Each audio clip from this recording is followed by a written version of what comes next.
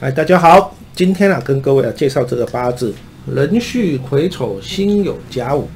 那这个人来说啊，他的八字啊有壬中三奇啊，壬癸辛啊，这叫壬中三奇呢。那可是啊，他现在运不好。那对人他对他的这个八字来讲，壬中三奇对他以后呢，会不会有什么大的一个影响啊？很多人呢，在说在批命的时候，很喜欢哦，什么天上三奇啦，人中三奇啦，这些哈。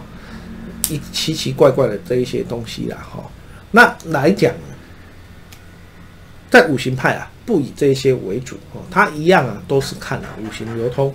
那一个啊，迷失点，完整的八字啊，都不一定看得准的。你用单一点的论点去批命，难道会更准吗？当然不可能哈，当然不可能。所以呢，我们一般来讲，在算命的时候啊，全部呢。都会先回归到最完整的八字啊，因为那是最完整的资料。那有这些完整的资料，先判断了以后啊，这一些什么三奇不三奇的一些奇奇奇怪怪的东西、神煞这些来作为辅佐，而不是以这一些呢啊奇奇怪怪的东西来作为主轴，然后呢完整的八字来作为辅佐，它是一个呢。有点颠倒的一个情况，完整的才是要最主要的。结果很多人呢都以呢单一点来论，那当然呢，他论出来呢就是奇奇怪怪的。那我们来看这个八字的一个特点，它的一个本命呢，哈天干来讲壬癸，啊去生甲木，所以它的一个财运上还算不错。那它的一个地支呢，我们也可以知道午火生戌土，啊生酉金也算不错。那进入了这个运以后，丁巳大运的时候，第一个丁了一合，所以啊，它的一个食伤，它的水呢就少掉了一个。当它的水少掉一个的时候啊，啊，因为它的财运还是在，只是虽然会变弱一点点，可是它毕竟还是在，所以财运上呢来说不会有太大的一个影响。但是啊，脑袋瓜子啊，聪明才智必定呢是怎样会偏弱的。那进入了这一个呢？四的时候，你有没有看到？它原本是五火，这时候再多一个四给他，也就是说，他的官运呢是加强的哦，而且呢，他是不会有大碍的哦，反而是加分的。那在这一种情况，他的八字呢本身呢就会比较适合呢在官场上去发展，在职场上去发展。那单论呢，他下一注的时候，各位你也会发现到戊癸一合，壬水生甲木，地支呢。两个无火，所以啊，他的下一柱大运呢，其实呢也是一样，在职场上发展呢会非常非常的不错哦。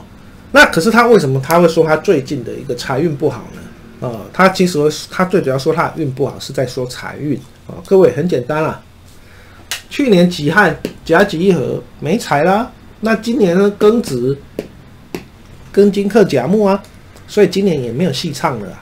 哦，他今年也没有戏唱了，也就是说啊，连续两年呢，他的一个财运，甚至啊，应该说要连续三年戊戌年，他的财运呢也没有很好，哦，也没有很好，所以啊，他连续呢，哦，三年的一个财运呢，其实啊，都走的并不漂亮，尤其啊，最后两年啊，那更是乱七八糟。那为什么戊戌年也会不好呢？因为丁壬一合以后啊。变成癸水也没也没有，剩下一个甲木，甲木生它的力量变得更少了，所以呢，不会哦，不会变比较好，反而呢会比较差一点啊。那这一种情况下呢，跟它的三奇有什么影响吗？没有嘛，它的三奇也不过就是在里面的当中的字而已嘛，这个字拿掉，那个字拿掉，是不是又回归到了一个？五行流通的这个基本架构上，所以各位哦，我们在批八字的时候，我常常讲哦，你不要跟我讲说哦，你八字哦有什么神煞，然后你什么格局那些啊，我们根本啊不想理你哦。为什么？你算八字不是在拿这些哦，我以后会怎么样？跟你说了，你以后一定不会怎么样啊，因为八字它给你的是一个运程，你它不是给你一个绝对。不然的话，相同八字怎么会完全不同命呢？所以不要老是在拿这一种啊格局的算法，然后来讲说哦，我未来成就会如何？我现你只要敢这样子问我，我敢跟你说，你未来成就一定不会如何，因为你从来都没有认真过，你从来不不去努力过。八字给你的是一个运势而已。只要八字是绝对的话，那各位你不用学八字哈，你可以不用学八字，反正你有一个好八字，你这一辈子就稳了。但是恰恰好相反，为什么成功的人永远都是那些少数人，失败的人绝大多数人都是很平常的？因为要成功非常非常困难，它除了运势以外，还有你的能力，还有你的地利，要三个相加在一起，才有可能让你成大功立大业。不然的话，大多数的人，百分之九十八的人都是平平凡凡的。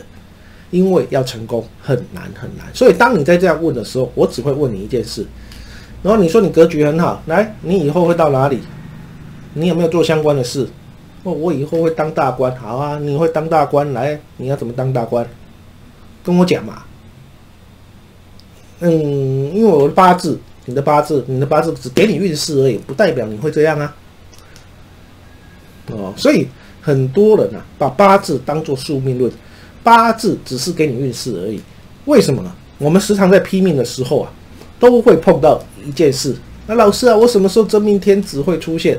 我就跟他讲啊，你在之前的大运某几年，这几年是你可以结婚，你为什么不结婚啊？老师啊，我吼就拒绝人家。各位啊，机会都给你了，你去拒绝人家啊？那假如说八字呢是绝对的话，不管你有没有拒绝，那时候的你，你应该都要结婚啊。可是为什么没有呢？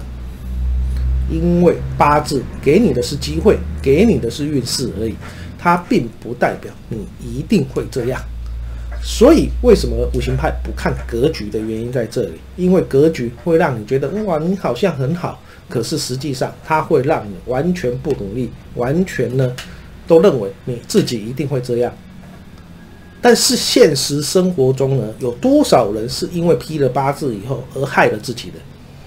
非常非常多，甚至学了八字把自己搞得乱七八糟的，大有人在。那这一些呢？为什么你们不去警惕呢？永远呢都只是在网络上哦说啊格局怎样，永远都在讲这一些。你只要跟我一样，天天在算命，天天呢都会看到人他是怎样，然后呢你去看到他以前又怎样，现在又怎样，各位啊，你那个感触才会深刻啊！哦，不是在网络上啊帮人家算个一句两句后，你就觉得你很厉害了。各位啊，算命没有那么简单呐！算命啊，你要跟人家面对面，最少三十分钟以上啊！你那个讲那个，哦，你那个打那个几个字，那个几秒钟就讲完了啊！你要批出他非常非常多的东西啊，然后你才会了解到什么叫做八字啊，他以前怎样，未来怎样，甚至呢，你帮他批了以后，他只要再回来跟你反馈，是不是跟你所批的一模一样？这些。你都要去怎样？你都要去做啊，不然的话，你的八字啊，永远只停留在哦，就像这个人一样，我有三奇贵人，哦，人中三奇又如何？又如何啦？你的你有人中三奇，你有过得比人家好吗？还不是一个平凡人一个？啊，很多人都这样子啊，我都认为自己八字中有什么哇，我好像跟人家不一样，跟人家比起来，你就是一个渣渣而已啊，又没有比人家好。所以啊，这个就是啊，在八字上会让人家有迷失的一个点，总觉得自己八字很特殊。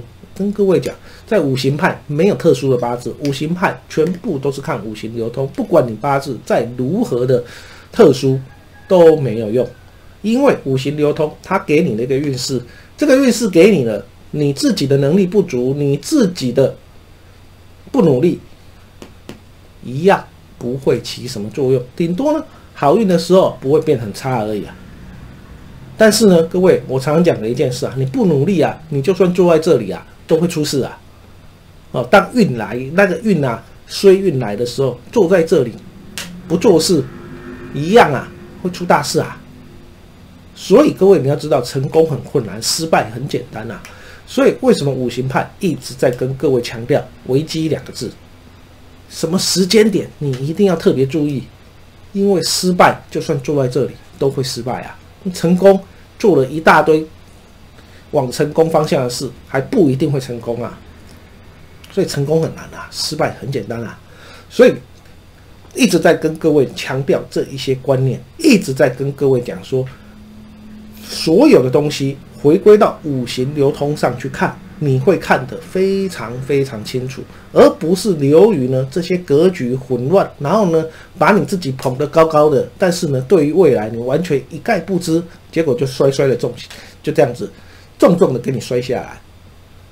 多少人是因为这样，然后到网络上啊，人家以前说我什么格局怎样，你得到的只会是啊事后套命。什么叫事后套命？哎呀，那不是跟你所讲的一样，你的八字又因为怎样，所以所以你根本就不是那一个东西，你只会得到这种答案而已啊！啊，对于你的未来，对于你的现况一点帮助都没有啊！好，所以呢，各位要知道，拼命不是在玩这一些文字游戏，它是真的要能够预测你未来何时你该注意哪方面，你该掌握哪方面。你这样子才不会啊！好运的时候你丢给他烂，坏运的时候带着钢盔一路往前冲，撞得头破血流的，看过多少人都这样了啊！哦，看过多少人啊？那我希望下一个不会是！我身为一个命理师，我都知道我自己没有运，就算我大幅的提升，我也不敢乱冲乱撞啊！为什么？因为很有可能我就又回到原样了。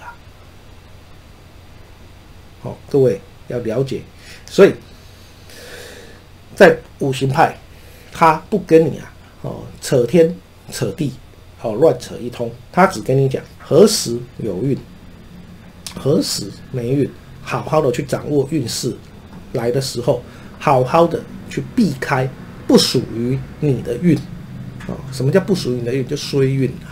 明明没财运哦，为了钱哦拼命哦，对不对？